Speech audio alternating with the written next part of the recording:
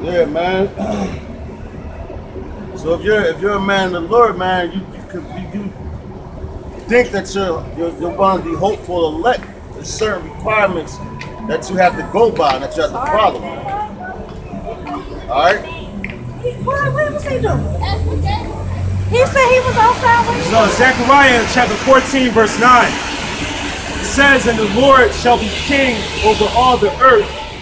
In that day shall there be one Lord, and his name one. That's right, man. So if you're a man of the Lord, man, because you got guys, man, that come out and, and cheats all different type of names. Like you got um, you know, they they think that the Lord can be called by any name, man. When the name of the Lord says so be one Lord, and his name is Yahweh, man. All right? And the, and the son's name is Yahweh Shai. So that's that's a requirement of being part of part of the elect. You have to know the name of the Lord, and He's going to give you His name. All right, He's just not going to give it to anybody because you got dudes saying Ya- Yahweh, Yeshua. You know they call him God. Yeah, like you got this dude. Um, you know, he, he had some pretty, uh, I guess, informative videos, if you want to say that, as far as bringing out current events or whatever. But it's this guy. Uh, I think his channel called Truth on Bill Seven Seven. We was talking about it. This dude, he, uh, you know, he in one video I seen, he basically made a video basically uh, alluding to the fact that the Israelites were dark skinned and all this. But it's like he wasn't bold enough to come out and say it like how we said. You know what I mean? It's like he hinted around to it. And then, you know, he makes videos saying that the name of the Most High is Yahuwah, and the name of the Most High Son is Yehoshua or something like that. And it's just like, you know, when you just, it's like the, you know, the word, you know, the, the Most High's name, Yahweh, is broken down into four characters, Yahweh. So how do you get, how do you, there's no O, there's no U in the Hebrew alphabet. He was saying like, you know, the, uh, I mean, it, it just didn't make any sense, but it's like, if you know the basics of Hebrew, it would all make sense. You know what I'm saying? It, it don't, these people's philosophies and shit, don't make no sense. You know, you know basic stuff. You know what I'm saying? Right. Matter of fact, that's, that's So, so the only thing that you can conclude is that he's either real stupid or he's like paid off or something like that. And a lot of those dudes are paid off, man. Because the the get the the, the, the bend up the truth, to turn into a lie, you have to know the truth, man. And like a lot of these dudes, like we said, man, they get paid off, man. And why they get paid off? So to be stumbling blocks. All right, that's why you have to know the uh, the Hebrew, man. Because uh, Esau is cunning enough to give you this, three, three, four characters, the YHWH, man. But if you know the Hebrew, then, then you're able to, to, to uh, you know, put the other characters in there. You know? That's pretty much it. This is the book of Revelations, chapter 14 and 12. It says, Here is the patience of the saints. Here are the here are they that keep commandments of the Most High and the faith of Yahweh Shah. Yeah, so this is the uh, this is the patience. And the word patience basically means enduring affliction. So it's you know it's all all kinds of stuff that we gotta go through, and in the end, you know, we're Lord willing, we're the elect, we're the men of the Most High, we're gonna receive salvation. So it says, read one more time. All right, this is the book of Revelations, chapter 14 and 12. It says, Here is the patience of the saints. Here are they that kept the commandments of the Most High and the faith of Yahweh Shah. Yeah, we keep we keep the commandments, we rehearse the commandments to the best of our ability, and we keep the faith of Yahweh Shai as it was uh, delivered to uh, you know his apostles and delivered to our elders and uh, you know um, prophets that are on the highways of highways. You know what I'm saying? But you got a lot of dudes that don't even believe that Yahweh Shah exists, man. You know? And they teach that, man. Like you got dudes, man. I remember when I first, first, first started hearing I was an Israelite. It was just these one guys, man. I'm glad the Lord ain't me to uh, uh, come to their little meetings or whatever. You know, but they, they, they, they didn't teach. They didn't believe in the um, New Testament. So if you don't believe in the New Testament, you definitely don't believe in Yahweh Shah. You don't have the faith in Yahweh Shah. That He is the mediator, man. You know. Yeah, I mean, it just don't make any sense. Like it's over. I remember one time I tried to look it up. It's like over 300 prophecies in the Old Testament that basically alluded to, you know, Halashai and all that. You know, when you look at the uh, the new the, uh, covenants and all that stuff, man, it's, it's like undeniable. For example. For the, for, Oh, man, yeah, kind of like like like he said, like the uh, it's a lot of um prophecies in the Old Testament coming to, talking about Yahweh Shah, man. That's why when he was on the scene, he told the, the, the dudes that that prophecy was talking about him. They looked at him like he was crazy, man. Why? Because they wasn't supposed to get that message at that time. It never was intended for them to get. The same way that in this time, it's not intended for you dudes to get this message. All right.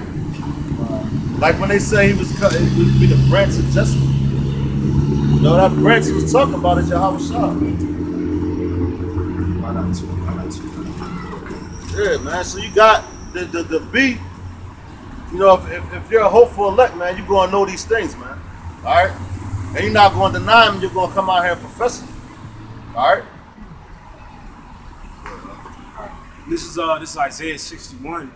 You know, Isaiah was uh, one of the major prophets that uh, prophesied to the nation of Israel. Um, all right, uh, it says, it's Isaiah 61 and 1. It says, The Spirit of the Lord power is upon me because the Lord have anointed me. And, the, and you know, Hamashiach uh, basically means, uh, you know, anointed. Anointed. So that's, that's, you know, that's talking about Yahweh Shai if you have any spiritual understanding. It says, uh, the- Oh, sorry. That because matter of fact, that's what they started calling him when he was walking, man. They started calling him Christ, but Hamashiach, meaning the anointed one, man, like the brother just said. It says, The Spirit of the Lord power is upon me, because the Lord have anointed me to preach good tidings unto the meek. The word, you know, good tidings is talking about the gospel. That's what uh, gospel means, good tidings. And to the meek is talking about the nation of Israel, because like when you look that word meek up, it basically means like needy. You know what I'm saying? We're needy because we're under the curses, we're being oppressed. We need a savior to redeem us. Just like how we read, you know, in the curses earlier about how um, you know we're gonna be oppressed. No man was gonna buy us. Nobody would save us. You know, so that's why we need a Messiah or somebody that's anointed, set up by the Most High to basically uh, redeem us. None of these other dudes is set up, man. And furthermore, like that's how you know you have understanding. You will understand that these things is leading up to Yahweh coming here. You know, when he came on the scene back back in the ancient time, and he's also coming back. So they knew that he was coming. Isaiah prophesied about Yahweh Shah coming. John the Baptist prophesied about Yahweh Shah's coming, man. You know? Yo, y'all might And all right the over, right? prophets all uh, uh, prophesied about Yahweh Shah's coming until he came. The same way we're out here doing today, man. Prophesying about him coming. People still, and to this day, they're, they're in the same mindset that they was in, in, in the uh, ancient world, man. Word, right? Says, says he has sent me to bind up the brokenhearted, to proclaim liberty to the captives, and the opening of the prison to them that are bound. Right. captives, man. Who, who, are, who are captives right now? We are. You know? We're captives, man. We were taken captive over there in Western Africa and brought over here. For the tribe of, uh, what's that? The, uh, Judah, Judah, Benjamin, and Levi. You know? You had the uh, already here, man. But they were taken captives too. You know, in the, in the land that was there, but that they were abiding them before. You know? So yeah, this talking about is talking to us. The same way we coming out here talking to y'all, man. It says to proclaim the acceptable year of the Lord and the day of vengeance about power to comfort all that mourn. That's right, man. So that's talking about the day of the Lord was coming. lamb, but Like you he came, he came back in that time to comfort the, tho- those men that he chose, the, the twelve, the twelve he was walking with.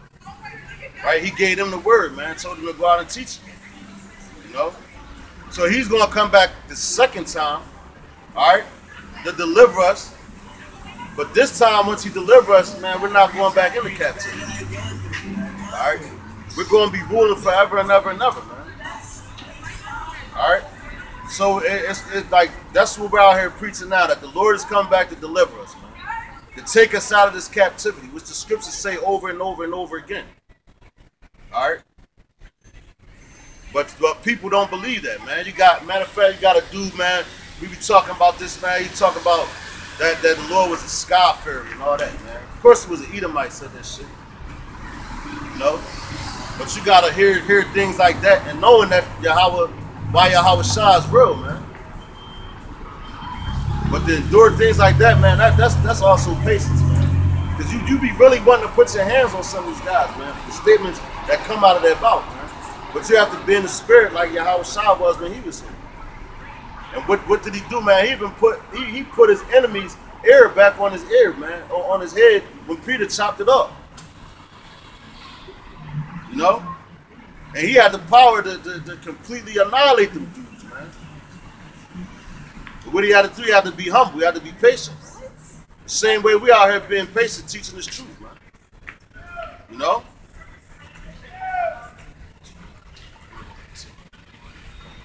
It's, uh, it's uh, Jeremiah chapter 31, 31 and 31. it says, Behold, the days come, saith the Lord, that I will make a new covenant with the house of Israel with the house of Judah, not according to the covenant that I made with their fathers in the day that I took them by the hand to bring them out of the land of Egypt, which my covenant they break, although I was an husband unto them, saith the Lord. God, so what's that new covenant it's talking about? Does that mean that the Lord is going to come and change every word that's written in this Bible, man? No, that new covenant is the old covenant. Right? He's just going to write it on your on your hearts, on your inward parts, man, your mind. It says, But this shall be the covenant that I will make with the house of Israel. After those days, saith the Lord, I will put my law in their inward parts and write it in their hearts, and will be their power, and they shall be my people, and they shall teach no more every man his neighbor, and every man his brother, saying, Know the Lord, for they shall all know me from the, from the least of them unto the greatest of them, saith the Lord, for I will forgive their iniquity, and I will remember their sin no more. That's right, man. So what's that? That that basically told you, man. Because back that back in the old time, they he wrote the laws on, on a stone. That wasn't the. And plus, he gave, he gave us these bodies that are corruptible, man. These bodies that were innocent, susceptible to go off. All right. And he knew once he gave us some laws, we wasn't going to be able to follow them to the T, to the to, to 100 percent. All right. You knew that we wasn't going to be able to follow the laws to the T, man. All right. So now when you talk about the new commandment, the new the new the new commandments, that's talking about your inward parts, like the scripture just said. You know? That's exactly what that's talking about.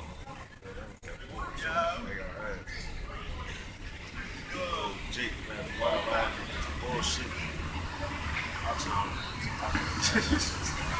Yeah, man. All you had the guy just now just walk past his AR rap. He was an underground rapper in Philadelphia. You know? But he signed a, he signed a contract with the um Yeah, it was a uh, uh, big, big, big. When that dude's a, a, a, a, a um, open, yeah, kind of open, open homosexual. You know? That's why I say our people are destroyed for the lack of knowledge. Look at all the dudes that's walking with him, man. And not one of them, well, just one looked over here to try to hear what we was talking about. And then this dude walking with his pants sagging all the way off his ass. yeah, kind of fat ass stomach and all that, man. Yeah. Got on fat ass nigga with skinny jeans on, man. That's crazy. That just but I mean that that makes sense because you know he, he sold they had to give up that booty for that deal, man. Oh, that was. Oh, Yeah, kinda. He had to he had to give that booty for that deal, man. So him him sagging makes perfect sense, man. You know? But yeah, man, I, that, that was just getting off topic. I just wanted to but yeah, man. Yeah, so that new covenant, man, is talking about your, mind, man. So once once he puts that new covenant, which is the old covenant, man, that means you're never gonna be able to go off again. And the Lord's gonna forget about all your sins. You know? When he puts that in your mind, you're never gonna go off. Just as soon as you wake up in the morning, you know, that's how you're gonna be able to follow laws, statutes, and commandments. You're gonna know when the Sabbaths are. You're gonna you're gonna um um follow follow uh uh um all the high holy days, you're gonna be able to do that perfectly. You know? That's why it says you won't go off again. We won't be in the same condition that we're in, man. We ain't never gonna come back to this condition once the Lord, once the Lord puts that new covenant in our head, man. Which is the same covenant. But you have people that out here that actually teach that it's gonna be a whole different covenant. You know? That's because people they, they have no understanding. Furthermore, the Lord ain't give it to them, man. Just like you have new moons, man. Does that mean that that old moon fell off the sky and a new one went back up there? No. That's just a cycle and a phase that it went through. All right? It's a cycle and a phase that it went through. Excuse excuse me. Man, that's, that's, that's a nigga. But yeah, he, he want to be on camera so that, you know, when the Lord uh, destroys his ass, you know, he walked through, through, through I hope I hope an angel jumped on his ass, man. And torment his ass. Uh, Proverbs 10 and 13. It says, In the lips of him that have understanding, wisdom is found. But a, but a rod is for the back of him that is void of understanding. That's right, man. What's that rod? What's the rod now, man? Esau, man. Esau is that rod now for you dudes that don't have any understanding. Because every time you go off, that's that's why Esau's here right now, man. He, he's the Lord's correcting stick right now, man. Wisdom is found in the men of, of understanding. So we out here giving you wisdom. How are we doing that? Through the scriptures, man. Teaching you who you are. So if you know who you are and everything, the way you're supposed to conduct yourself, you're not going to go out here and go off so so that that that you can get that rod of correction. And the ultimate rod of correction is Yahweh Bashim Shah, man. Because he'll put the spirit on, on, on the other nations to come come deal with you, man. For doing dumb stuff, man. You know? That's why when, when our people, man, they get up. Like our people, man, when, when, when they when they uh go off, do dumb stuff, you know, they get in jail or or, or in, in, in the uh in the Edomite, because that's the ones that's doing it. They they check ass. Man. That's a rod of correction, man. Dumb, man. These niggas, man. That's that's that's the mentality of our people, man. And you know what? She want to be carried off like this. The nigga woman, man. She's being right now. She's being raped, taken by force, man. Good cut, right? Cut. Right now, this I don't know woman. if you'll be able to see this. Nah, you don't think so, right? But it's, she, she too far away, man. But yeah, man. This guy got the woman over his shoulder walking with her like she's a rag doll. And you don't hear her screaming and hollering, man. She like that shit. You know? Or you hear her screaming now is he playing with her like he going to get, get a hit by a car.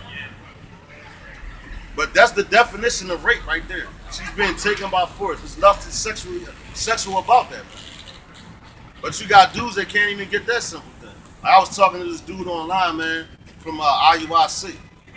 Nah, Salaki. ISUPK talking about some, man, you guys are child molesters. Listen, I'm like, yo, man, first of all, you bearing false witness. Because every child molesters, tell, uh, uh, uh, show proof of that, man. Show the, chil- the children that we molested. Anybody that, that's, in, that's following the doctrines of GMS, man. And stop making up this. You can't do it, man. Because you guys are emotional, man, sensitive.